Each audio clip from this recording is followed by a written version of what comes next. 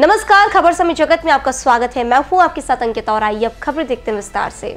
Ramganj Mandi. Suket police द्वारा dumper चोरी की वारदात का किया खुलासा। दो आरोपियों को गिरफ़्तार कर चोरी किया गया, डंपर किया बरामद। अधीक्षक जिला कोटा ग्रामीण करण शर्मा ने बताया कि पुलिस थाना सुकेत द्वारा, थाना सुकेत के इलाका क्षेत्र में माइन से चोरी हुए डंपर को बरामद कर दो अभियुक्त को गिरफ़्तार करने में सफलता प्राप्त की। घटना विवरण, मनोज कुमार पुत्र, लालचंद जाति, जाट, उम्र अड़तीस साल, निवासी खीमच थाना सुकेत जिला कोटा ने दिनांक सोलह अप्रैल दो हज़ार चौबीस को उपस्थित थाना होकर एक लिखित तहरीर इस आशय की पेश की कि मेरा एक डंपर है जिसके registration number R J zero five G B one two eight three कार्यवाही विवरण प्रकरण की गंभीरता को देखते हुए अतिरिक्त पुलिस अधीक्षक रविंद्र सिंह के निर्देशन में वृत्ताधिकारी नरेंद्र कुमार पारिक व्रत रामगंज मंडी के सुपरविजन में थानाधिकारी थाना सुकेत रघुवीर सिंह उप निरीक्षक के नेतृत्व में विशेष टीम का गठन कर कस्बा सुकेत व इलाका थाने में संभावित स्थानों व संदिग्ध व्यक्तियों की चेकिंग व नाकाबंदी विशेष टीम द्वारा अपने पूर्व अनुभव सीसीटीवी फुटेज, साइबर सेल की मदद व निरंतर व अथक प्रयासों मुखबिरी तंत्र से चोरी किए गए डंपर को बरामद कर दो अभियुक्तों को गिरफ़्तार करने में सफलता प्राप्त की, जिनसे पूछताछ की जा रही है।